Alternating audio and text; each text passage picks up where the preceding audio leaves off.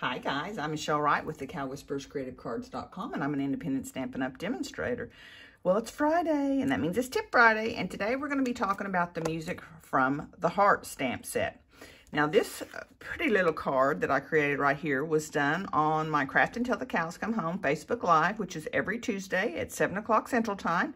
And if you missed that, down in the link below, you will find um, a link down in the description below, you will find a link back to that Facebook video where you can watch it. Mm, love it, love it, love it, love it.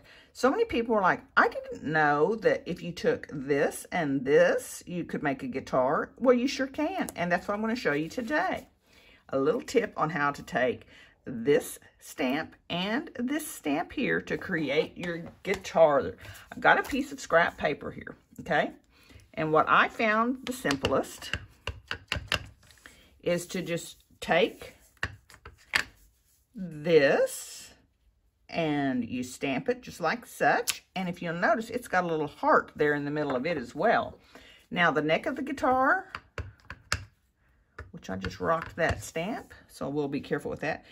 It wants, you need to line it up like here and here. So the tip and the, the two tips, this tip and that tip, you want those to line up.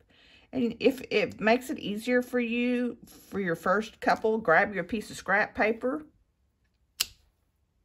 And then you can figure out what angle you want to do it at. Let's do another one. So I'm going to put one here. And I've just kind of angled that to the side. And now this one, I'm going to make it a little straighter. So I'm just kind of making sure everything touches there and touches here. And there you go. So you decide how much you want the neck to pivot. We could do one more. Let's flip this over. Can you tell I was working on some other projects? So let's just do this here. We'll just do it straight.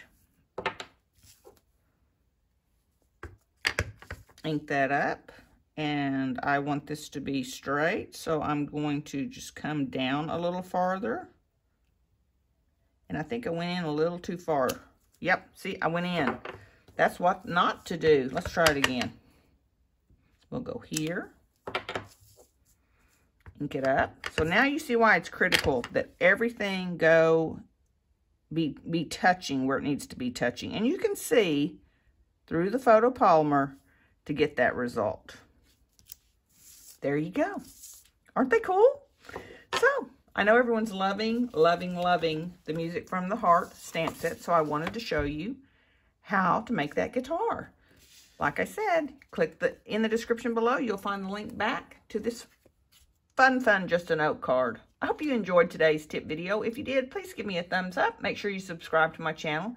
If you live in the United States and you're looking for an independent Stampin' Up! demonstrator, I'd love to be your gal and sure appreciate your business. As always, I've listed two more videos at the end of this one that I think you may enjoy. I hope you have a wonderful day and happy crafting.